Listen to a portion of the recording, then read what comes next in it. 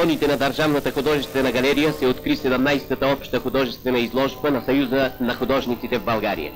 Председателят на Съюза господин Райко Алексиев произнася слово преди откриването.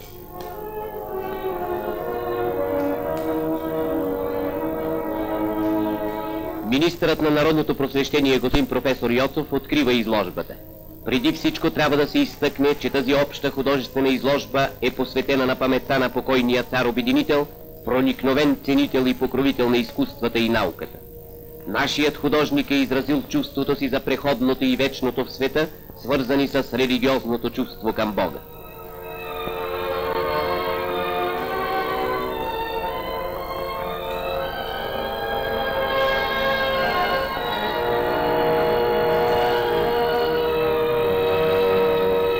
В изложбата участва със свои картини и нейно царско височество княгиня Евдокия.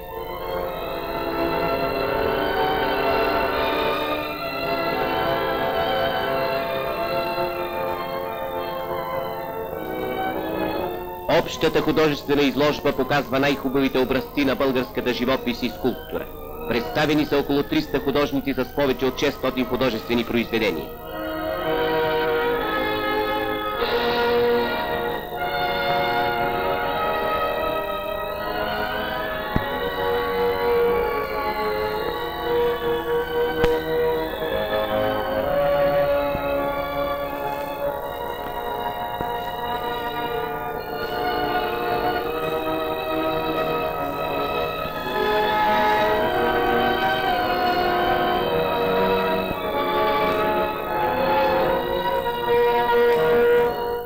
Тази изложба ще се излъчи носителя на съюзната награда, учредена в памет на покойния цар-обединител, най-голямата награда за живопис и скулптура у нас.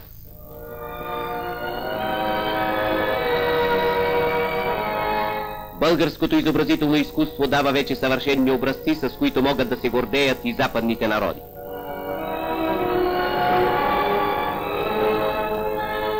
Българският художник, наред с всички творци на духовни ценности у нас, продължава да работи неуморно и резултатно. Тия хубави картини и скулптурни работи показват това.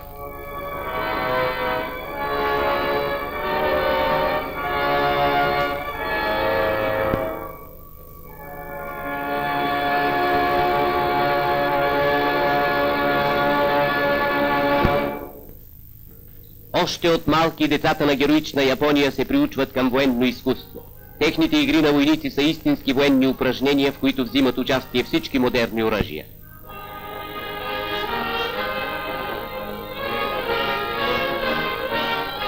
Още като дете, младият японец свиква към безстрашие и военна ловкост, така необходими за бъдещия защитник на Отечеството. Детската игра се е превърнала в истинско сражение. Тази игра създава героични сърца и самоотвержени души, готови да сложат живота си за императора и родина. Играчките са от дърво, но изработката им наподобява напълно картечници, терени мрежи, блиндирани коли и бойни самолети.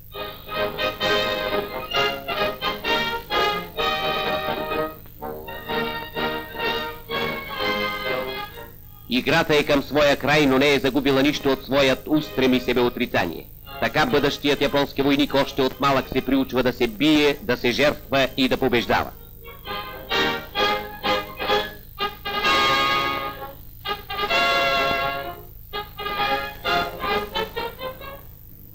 В Държавната печатница София стана освещаването на възпоменателната плоча на загиналите във войните работници и служащи при печатницата.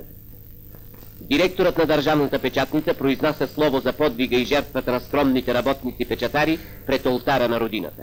На освещаването присъстват представители на регентите, на войската, близките на загиналите, персоналът при Държавната печатница и много граждани.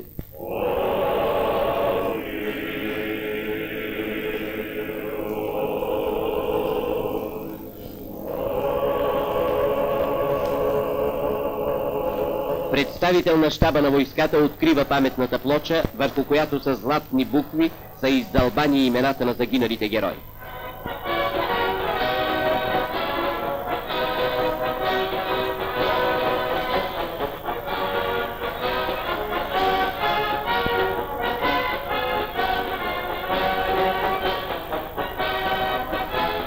Представители на войската и на някои родолюбиви организации полагат венци пред това ново светилище на героичния български дух.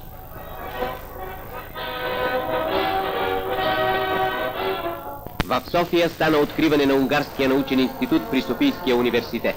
На откриването произнася слово министърът на народното просвещение господин професор Йосов. Откриването на Български научен институт в Будапешта и Унгарски научен институт в София е израз на добра воля за културно сътрудничество не само между България и Унгария, но и между всички народи в Европа, над които простира ръка една обща съдба.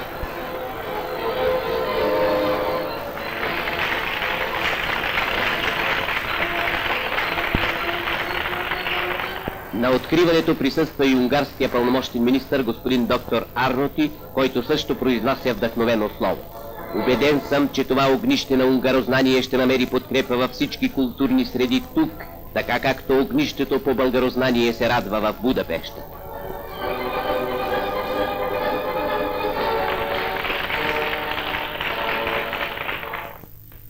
Производството в Чимфелдфебел на трети обединен випуск от школата за запасни офицери стана от военния министр господин генерал Русе.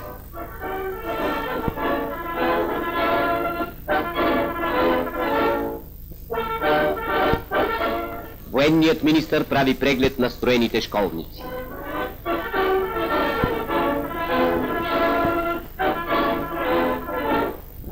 Бъдете готови да изпълните ясния, чистия и неоспорим завет на великия покойник цар Обединител, да бъдат запазени непокътнати свещените граници на Обединена България.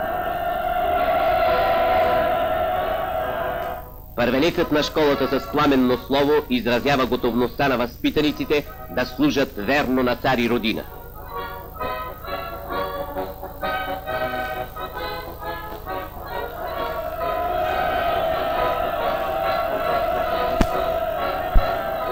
Раздаване на дипломите.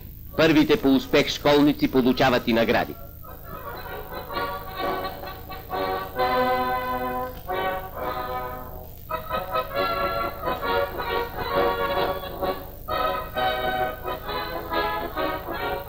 Най-младите началници в българската войска минават своя последен церемониален марш като школници пред военния министър и своите висши началници и командири.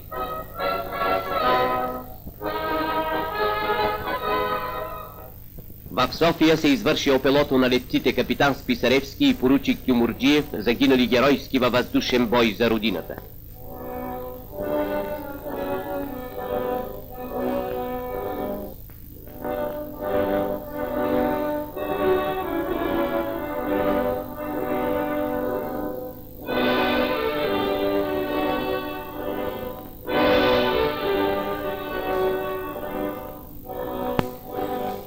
Управлението на въздушните войски.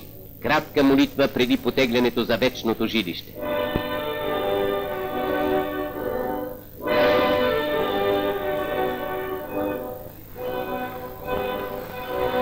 Подвигът на двамата български летци, капитан Списаревски и поручик Тюмурджиев, наред с подвизите на поручик Дисов и майор Павлов, ще свети като ярка звезда на българското небе, за което те дадоха своя млад живот.